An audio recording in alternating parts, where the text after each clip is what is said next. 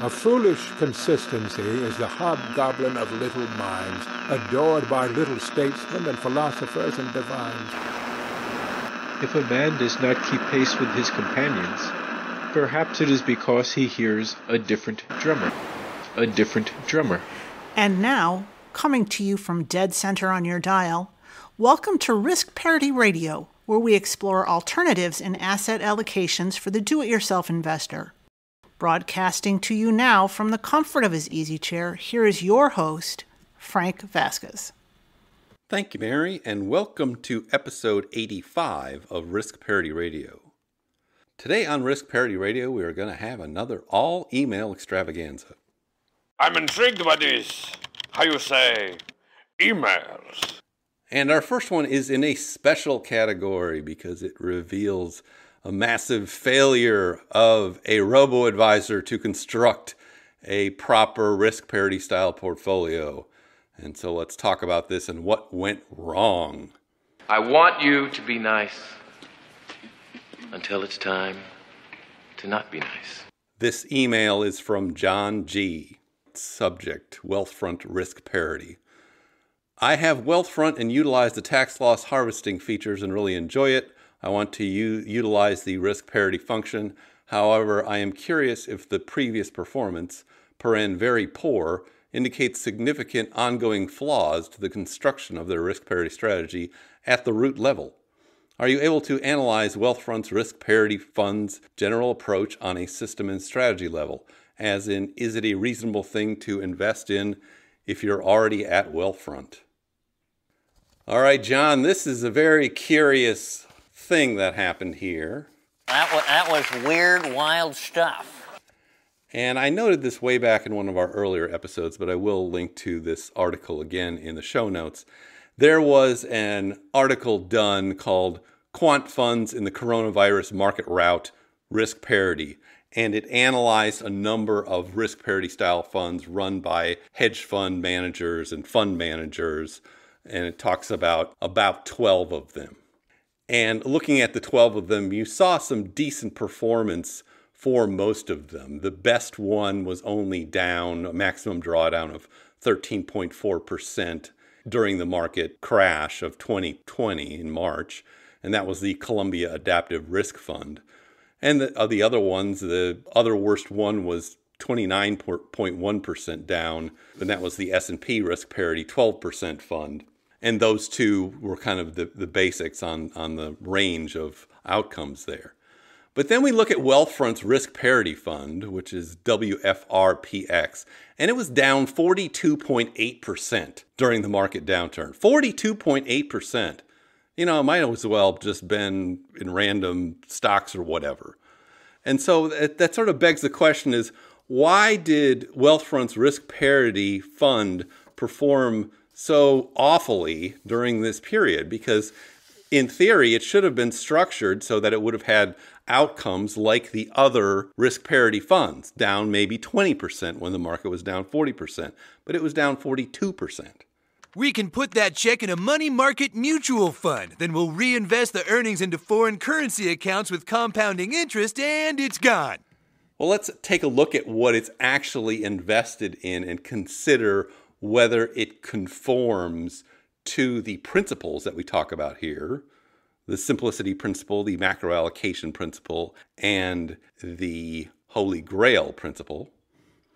And so I'll link to this in the show notes. This is from Wealthfront's page. The article it says, What is risk parity invested in?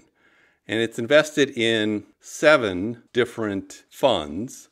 62% of it is in an aggregate bond fund.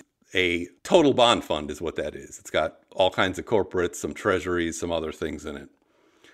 11.1% of it is invested in an emerging markets bond fund, ticker EMB. And so over 70% of it is invested in bonds of various shapes and sizes. And then only 30% is invested in stocks. And those are divided into an S&P 500 at 6.7%, a Vanguard Developed Markets VEA 3.8%, iShares ETF MSCI EAFE, that's EFA, 3.7%, and emerging markets fund from Vanguard VWO 4.9%. And then it's got some REITs. VNW is the Vanguard fund it's using at 8.0%. And then on top of that, it uses a, a bunch of leverage. And so what it's actually holding is some swaps and some other things, and it gets kind of complicated, which increases the risk of this because it's essentially a 30 70 portfolio, like that all weather portfolio or sample portfolio, except it's jacked up with a bunch of leverage in it to make it perform hopefully better, but in fact worse. Jeez. So let's consider, you know, our three principles here. Macro allocation wise, it's a 30-70. You would expect it to be very conservative, but they've jacked it up with the leverage, and so you get janky results out of it. If you consider the simplicity principle, it's simple as far as the number of funds it's got in it, except that in that aggregate bond fund, that's the kitchen sink of bonds. That's not simple. It's just a bunch of stuff. Actually, it's a buck and a quarter quarter staff, but I'm not telling him that. It's not something you really would want in a risk parity style portfolio because you can't be focused on which bonds you really want. You keep using the word. I don't think it means what you think it means. And then it's got all that leverage and complication with swaps, and that's not a simple construction. That's a hedge fund construction. So it really doesn't meet that. But where it really falls down on its face is with the Holy Grail principle. Go and tell your master that we have been charged by God with a sacred quest. If you are going to construct a risk parity style fund, you need things that are uncorrelated or not correlated, and you need to pick them based on that. And all it's got here is a bunch of stocks and then a bunch of bonds, most of them that are correlated with the stocks. It's got a bunch of corporate bonds in there. These emerging market bonds, those are going to be positively correlated with US stocks as well. So its bond and stock mix here really doesn't make too much sense. Your mother was a hamster and your father smelt of elderberries. The only thing that's marginally not correlated is the real estate fund, but that's still half correlated with stocks. And the only reason you want to keep something like that in there is for income if you needed income. And I don't think this thing was designed to generate income. It's totally lacking in any alternatives. There's no gold in here, there's no commodities, there's there's nothing else that would go in another direction. It's just a simple stock bond portfolio. That's all it is.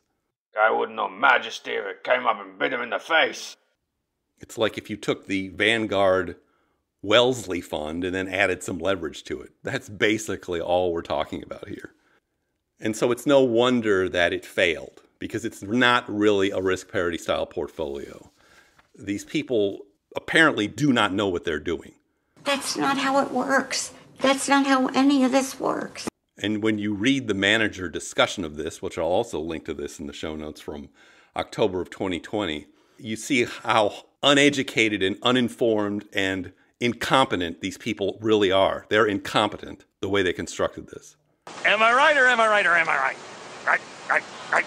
And they write that the performance of the Wealthfront Risk Parity Fund for fiscal year 2020 from November of 2019 to October of 2020 was poor.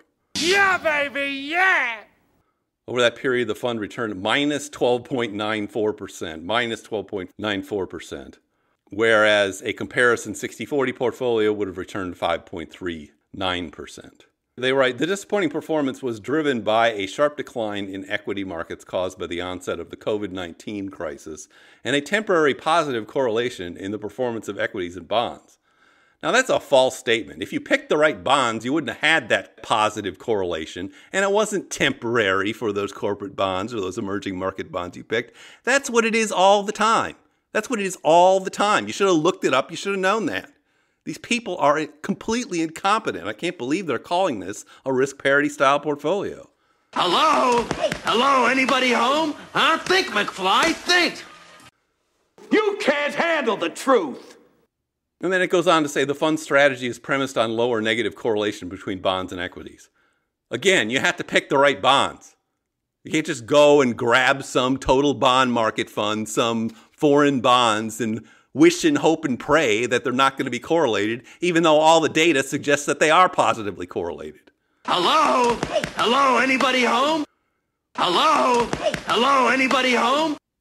And then later it says to achieve an adequate level of absolute return, the fund applies leverage to its position, seeking to achieve a target 12% annualized volatility. Well, all it achieved was a negative 12% return in this fiscal year. I award you no points, and may God have mercy on your soul. And then it writes as to what happened in March, as concern about the COVID 19 virus grew, both equities and bonds experienced large negative returns as investors abandoned risky assets. You bet they abandoned those corporate bonds. They were selling them just as fast as they were selling the stocks. What they were buying were the treasury bonds, and that's why the treasury bonds went up 25 to 30% between January and March, and you didn't have enough of them, and that's why you screwed up. It's gone. It's all gone. What's all gone? The money in your account. It didn't do too well. It's gone. These returns were magnified by the fund's leverage and led to a very poor performance in the month of March. No kidding, Sherlock. No kidding. The money in your account. It didn't do too well. It's gone. The fact of the matter is, is that Wealthfront failed. And if this is what you do as Wealthfront as a robo advisor trying to compete in the marketplace for risk parity style funds. You need to get your act together. Who's ever running this thing just needs to be fired. They need to be fired. Get some people in there that know what they're doing and can construct a proper risk parity style portfolio so that you have results that are similar to all of the other professional risk parity style portfolios. You have no excuse here. It's a disaster. Fire and brimstone coming down from the skies, rivers and seas boiling. Forty years of darkness, earthquakes, volcanoes. The dead rising from the grave. Human sacrifice, dogs and cats living together, mass hysteria. Now, how could they have known what to go after? Well, they could have gone to Portfolio Visualizer like we do, look up a correlation matrix and figure it out. It's not like there's secret information out there. I did not know that.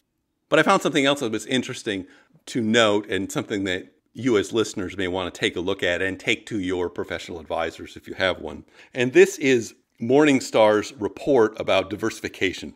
And now they're doing these every year.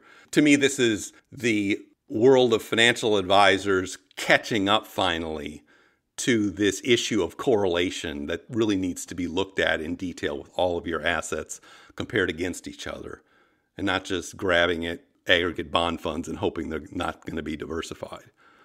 We're way beyond that. Come into the 21st century. Anyway, the Morningstar 2021 diversification landscape is a look on how key asset classes performed in 2020, how correlations have changed, and the implications for portfolio building. Key takeaways. Despite the appeal of complex diversification me- methods that involve highly specialized asset classes, the simplest diversification strategy, such as adding treasuries to an equity heavy portfolio, where have we heard that, have fared the best. The best. Yeah, baby, yeah! Correlations spiked across most asset classes during the coronavirus driven market downturn.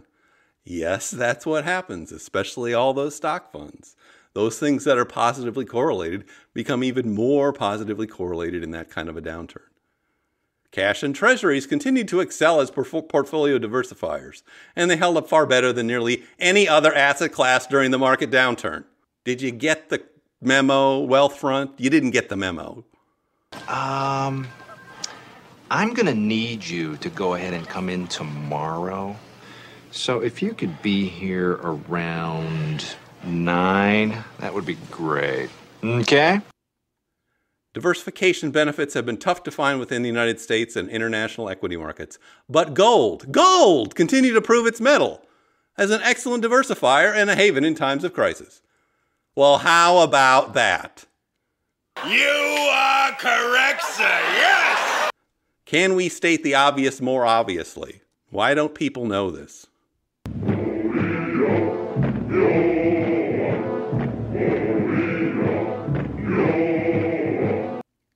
And then the next key takeaway. Over the past 20 years, correlations have edged up for several asset classes, including commodities, corporate bonds, global bonds, high yield REITs, and TIPS. Investors seeking out the benefits of diversification must therefore choose carefully. Think, McFly, think! Think, McFly, think! Don't be choosing those for diversification. You might want to choose them for some other reason, maybe to deal with some inflation, but you don't choose them for diversification. Am I right or am I right? Or am I right? Am I right? All right, I will link to that in the show notes. It does go through with some correlation matrices, all of these different asset classes, but basically it's the same conclusions that they come to that we've already talked about time and time again, which is the best diversifiers for a mostly stock portfolio are going to be treasury bonds and gold. The end. And then how you incorporate other things depends on what you're trying to do. Everything that has transpired has done so according to my design. Trogdor strikes again! One other thing that I thought was interesting in that report is it has a, a, number of appendices and it also talks about factor investing that we have talked about previously, what Ben Felix does. And as to those factors, the, the factor that was the least correlated with the overall market is the low volatility factor, which is one of the reasons we use some of those low volatility funds in our sample portfolios. They tend to hold a lot of large cap value stocks, things like Johnson and Johnson and Procter and Gamble. And the other thing it does confirm is that small cap value in terms of those kind of factors is the least correlated with the overall stock market. It's less correlated than internationals, any mid caps, small cap growth. It just is. So that reality has not changed. You can dodge a wrench, you can dodge a ball. But I am very pleased to see that an outfit like Morningstar is getting away from rating fund managers and producing information that's actually a lot more useful for portfolio construction than trying to convince us that this manager is better than the other one because it had a good couple years when we know that's all or mostly all due to random events and they're going to revert to the mean which is why using Morningstar factors has never proven to be a successful way of constructing portfolios because you end up just buying something that's been lucky recently and then watching it revert to the mean. It's gone. It's all gone. All right, let's see if we can knock off a few more emails here before our signal fades. The next one comes from Laura M. Laura M writes Hi, Frank. Thank you so much for putting together such an informative podcast. I've listened to them all over the past few weeks and I've learned a lot already. I feel as though the universe presented you to me at the, just the right time. My husband and I are both 40, both British, and we are moving with our young children from the UK to Costa Rica at the end of the year. We are selling our home and building a new home in Costa Rica. We plan to live off the proceeds of our house sale plus some other investments that we have. We currently have some money in SIPPs, which are self invested personal pensions, which had a 40% added by HMRC on the way, in as we are higher rate taxpayers. I believe that is the, the, the British government or the health service. I'm sorry, I'm not familiar with your acronyms. All right. She writes this money cannot be accessed until age 57 when we leave the UK. No more money can be paid in. They have some money in ISAs, which are a tax free savings and investment wrapper, it's like an IRA. Money can be accessed at any time, but when we leave the UK, no more can be paid in. Some in a GIA, which is a general investment account. I think this is what you would call a taxable brokerage account. And we both have inflation adjusted National Health Service pensions, which will pay about 60% of our cost of living from age 67. All right, discounting the NHS pension because it hurts my head when I try to think about including it into the calculations. And after taking off the money that we need to build the house and get ourselves set up in Costa Rica, we will have about 13% in the SIPPs, in a Vanguard 100% equities ESG global fund, 17% in the ISAs, same fund, 12% in the GIA, that's what we would call the taxable brokerage account, and 55% will be the rest of the cash from the sale of our UK property, I would like to create a risk parity portfolio. I don't want anything too complex. We will be drawing down from the portfolio at 5% per year and living off the income. After playing around on the portfolio analyzer, I'm thinking 20% total stock market fund, 20% small cap value fund, 35% long term treasuries, 5% gold, 5% DLR, that's the Digital Realty Trust REIT, and 5% public storage REIT, that is PSA, is the ticker symbol for that. This seemed to give good returns with reduced, reduced volatility and a Sharpe ratio of 0.98 over a 15 year period compared to 0.71 for a 60 40 portfolio over the same period. Questions As investors from outside the U.S., can we buy all the necessary funds through international brokerages, such as international brokers? And do you know which firms have the lowest fees, no commissions, etc.? We will get taxed based on Costa Rican tax laws once we are resident there. Apparently, they do not tax income made outside Costa Rica. HMRC will not tax us from the UK once we are no longer resident. How does that work? If you are getting income from US based funds to an international broker, surely we'll get taxed by someone. What should we do about our current investment accounts held on the UK Vanguard platform? We will not be able to trade within them to rebalance the portfolio when needed. We would lose tax advantages if we sold the ISA and will pay a penalty if we withdraw money from the SIPP early. If we ever return to the UK, these could be useful.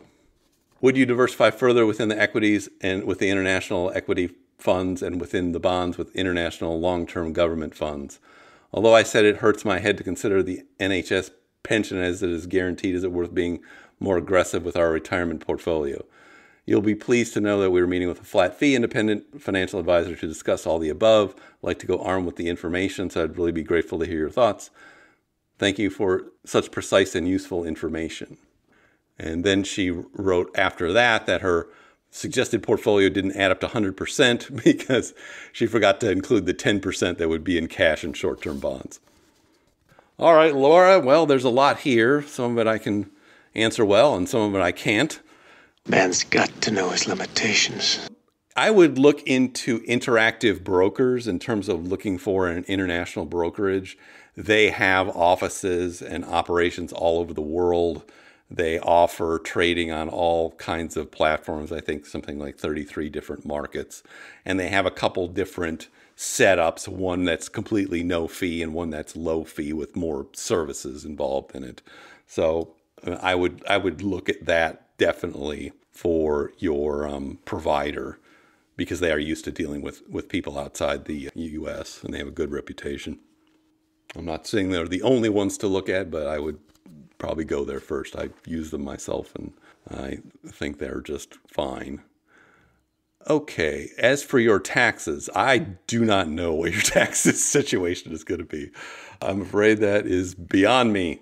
Man's got to know his limitations.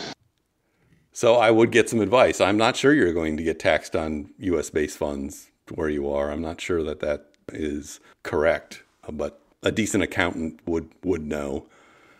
I would see if you can find someone in the UK that has served clients that have moved to other countries, because I have to imagine that's a fairly common scenario. Now, what should we do about our current investment accounts held on the UK Vanguard platform? will not be able to trade them or rebalance the portfolio when needed. That's that's unfortunate. I would keep then most of them in a simple stock fund or stock funds if you can split them between a small cap value fund and a total market fund. That's a good mix to have. And I'm also wondering what your bond fund options would be there if you can set that up as a simple 60 40 portfolio with the stocks divided into a, a, couple of funds that include the small cap value. That may be the best you can do. I don't know what other what other things you have available, but at least that will be a solid standard place to be with that. And then you can work around that as you go. I'm, I understand you're not going to be able to access that for a while. I guess it's 17 years so just having that in something reasonably safe, I think, is a good practice. You could take more risk with that if you're willing to, because over 17 years, it, it might pay off. The problem I see is that if you can't touch it and can't adjust the investments in there for that whole time, then you cannot move it towards a more conservative portfolio later on. Although you know, you, you'll have the, the, the other stuff outside of that to rejigger. I just don't know what all the proportions are there to make that all work out right. So the safest course, I think, would be to put that in some kind of a 60 40 uh, portfolio if it's got to just stay there and you can't touch it. And for that, I would probably use intermediate treasury bonds on if you're going to take a whole 40 in bonds because that. Uh, you don't want to take that much in uh, long-term tre- treasuries generally. If you had an option to take, you know, 60% in stocks, 20% in the long-term treasuries, and then you could do something else with that 20, you know, ideally it would be in like gold and some other uh, things. but the problem is since you can't rebalance it, it's hard to do a whole lot with it. But that's kind of where I come out with it. All right, let's talk about your idea for a risk parity style portfolio. I mean, I think it looks pretty good. I do think you're probably too heavy on the long term treasuries. And the reason I say that is you, have been looking at a 15 year period, if you're looking at the past 15 years, and that's been a good period for long term treasuries, particularly through the 2008 crash and then the, the recent 2020 crash. Not all periods are like that. And in particular, if we get a period like the 1970s, if, if there's going to be some inflation, you're not going to want to have 35% in long-term treasuries. So I would, I would dial that back, even though what I'm suggesting would not have performed the best over the past 15 years. I think you want to consider what has performed the best over the past 50 years. And if you haven't gone to portfolio charts and put in your ideas into that and run them through that to see what what your portfolio would have done in the 1970s, I think you want to do that because that kind of environment is is always a possibility. So your two stock funds look fine to me. I would dial the long-term treasuries back to instead of 35%, I would make it 20 or 25% would be fine for those. You could add some more gold. You've got 5%. Between 10 and 15 is, is pretty much ideal for that. And then what you do with the rest of that, I mean, you could up your stocks so you have 45% in the portfolio instead of 40%. That would be one thing you could do. You could add some more REITs or some other things when you do that. As for the REITs you've chosen, I probably would choose a few more to have a little bit more diversification over that category. You've got two good ones, but I think having four or five would be probably more optimal in the long run. And in particular, I think the ones you've chosen have a particularly low correlation with the stock market. You might actually want to choose a couple of them that have a relatively high correlation with the stock market. And the reason I say that is those will tend to do better in inflationary times. I'm thinking about what would be your assets that are going to perform well during more inflationary times if we have those. And the ones that are there that do that would be your small cap value fund, the gold if it gets out of hand, and some of the REITs. So I would make those kind of adjustments and then go test out uh, your portfolio to see how it performed over longer periods of time.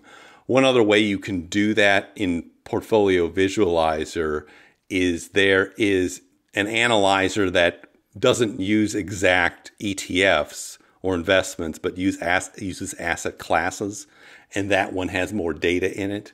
So you won't be able to put in the exact things here, but you will be able to put in small cap value, and you will be able to put in REITs as a category, uh, and you can put that in there and look at the analysis for it for that. I think 10% in short term bonds and cash sounds great to me, particularly if you're going to be taking 5% variable out of this every year and I would be prepared to take out at a variable rate as opposed to five percent and then increasing with inflation. I think that's that's probably too aggressive. I would want you to have a more variable or be able to take out a variable rate there if you can adjust your other income. And as for the, the pension, you know, it's so far away. It's 27 years away. I think I would just leave it alone and pretend it's like it's not there almost until you get closer to it. And then perhaps you can up your spending if you want to. But 27 years away, it's really hard to factor that in other than knowing that if all goes to heck, you'll at least have that in your old age. And if you haven't met with your financial advisor, I would print out that Morningstar 2021 diversification landscape report that I talked about earlier. It's almost a test to see whether your advisor understands that and the implications of it and how you can use that to help construct a portfolio. Because I'm not sure that most advisors really know how to do that, or at least most people who call themselves advisors really know how to do that.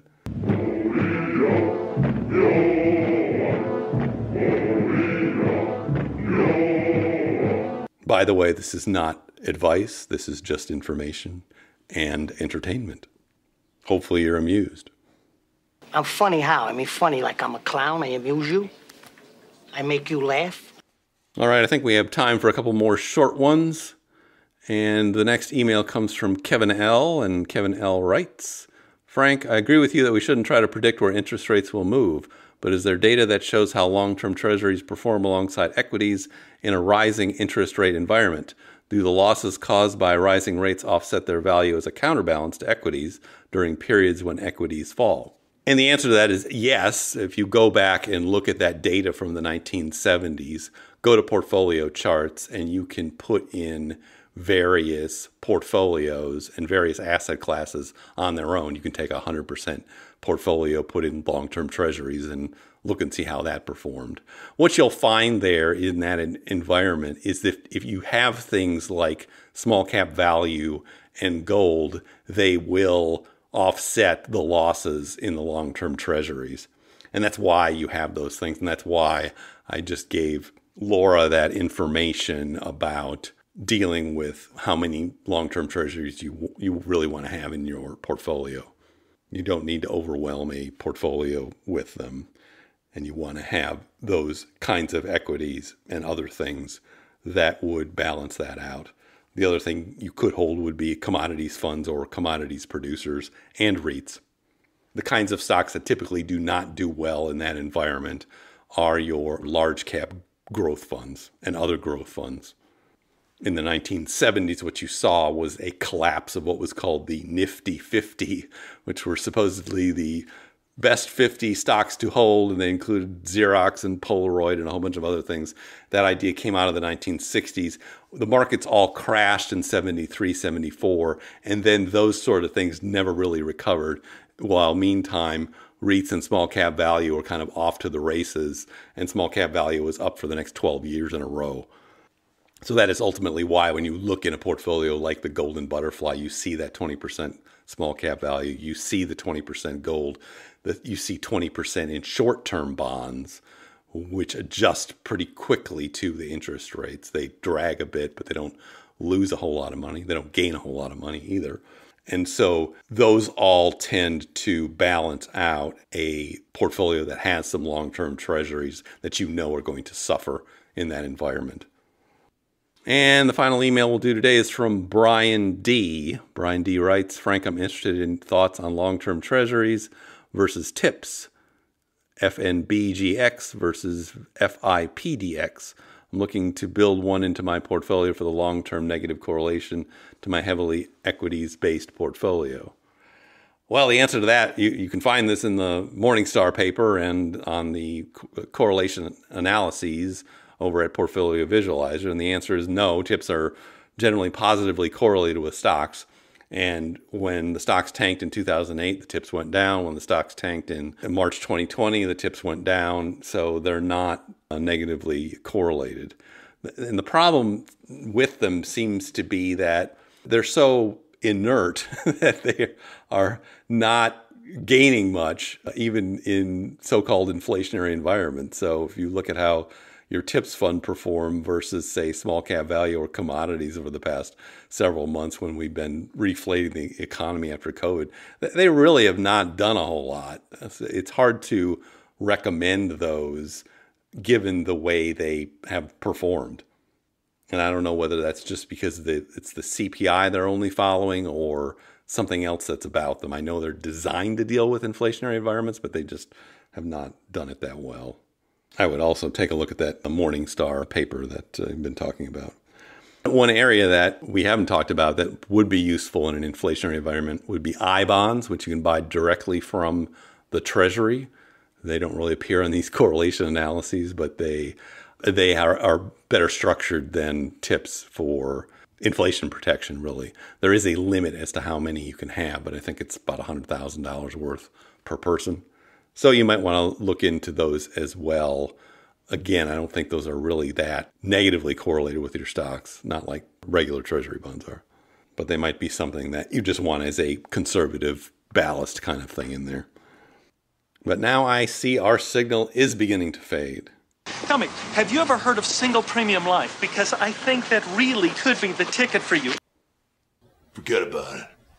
We are still plowing through lots and lots of emails, and I will get to yours eventually. We're still back on the ones that came in on May 5th and 6th.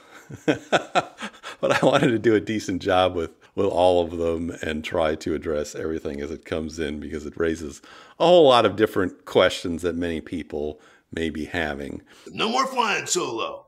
If you have questions or comments for me, you can send them to frank at riskparityradio.com. That's frank at riskparityradio.com, that email. Or you can go to the website, www.riskparityradio.com, and put in your message into the contact form, and I'll get it that way. If you haven't had a chance, please go over to Apple Podcasts or wherever you get this podcast and leave a five star review to get the word out so other people can find it. Yeah, baby, yeah! Yeah, baby, yeah! We'll be continuing on this weekend with our weekly portfolio reviews, and we'll also answer some more emails. How about that? Shut it up, you! Thank you once again for tuning in. This is Frank Vasquez with Risk Parity Radio, signing off. The Risk Parity Radio Show is hosted by Frank Vasquez. The content provided is for entertainment and informational purposes only and does not constitute financial, investment, tax, or legal advice. Please consult with your own advisors before taking any actions based on any information you have heard here, making sure to take into account your own personal circumstances.